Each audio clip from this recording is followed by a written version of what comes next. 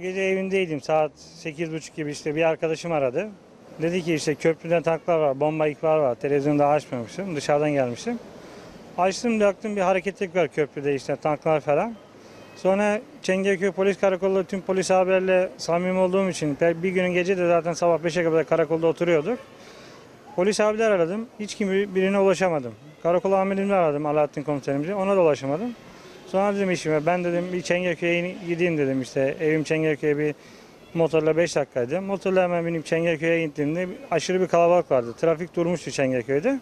Bekledik karakolunda bir hareketlilik var ama her tarafta bir köprü alanında haberlerde şöyle oldu, burayı basıldı ve haberler var. Ama yukarıdan karakolumuza gelen bir altyazı işte bir devlet erkanından hiçbir haber yok. Saat 10 gibi işte kulenin yeni gelen kurmay yabarı Musa Çıkıcı geldi karakoluna bir sivil araçta. Karakolun başından içeri girdi işte. Karakol amirimiz Çengelköy Muhtarı Can Muhtar'la görüştüler.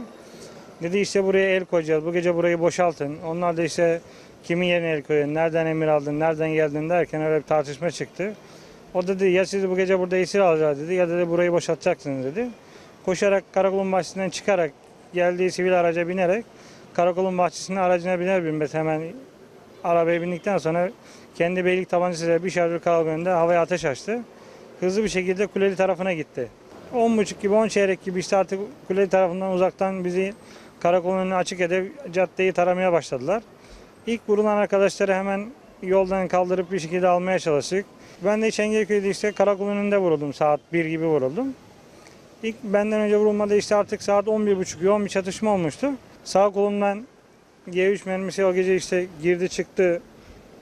Diş kapağımda da G3 mermisinin parçası kaldı. Yine elimde şarampol parçaları halen daha duruyor.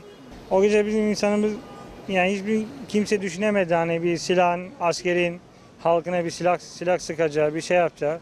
İnsanların Türk milletinin iman gücü, vatanseverliği, vatanperverliği yani. Söz konusu vatan olunca herkes o gece hiç ne ailesini, ne çoluğunu, malını, mülkünü, Çengelköy'de o kadar insanımızın arabası kurşunlara yedi ama kimse yola çekti arabasını. Hiçbir şey gözünü görmedi. Yani o gece kimsenin çoluğunu düşündü ne şey.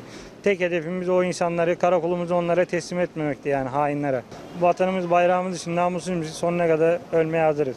Devletimiz Allah razı olsun bu konuda sahip çıktı. Olağanüstü hal ilan etti. Yani memur hakkı verdi. Maddi manevi yardımlar yaptı. Devlet yanınızda. Evet devletimiz yanımızda Allah razı olsun.